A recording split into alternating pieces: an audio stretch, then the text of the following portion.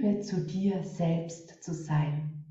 Denn das, was wir und wahrscheinlich auch du und jeder, der hier im Raum ist, mitbekommen hat in seiner Erziehung, und das ist kein Vorwurf, aber es ist ganz oft so, dass wir mitbekommen haben, du musst besser sein, du musst noch mehr geben. Ja, äh, hast du denn tatsächlich die schlechtere Note oder oder?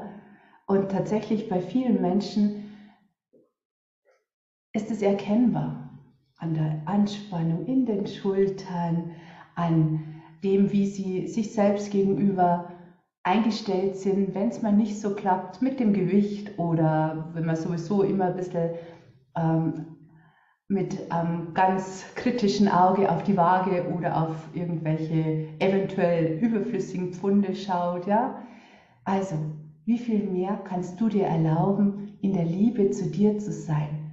Denn aus der Erfahrung heraus erledigen sich dann ganz viele Themen wie von selbst.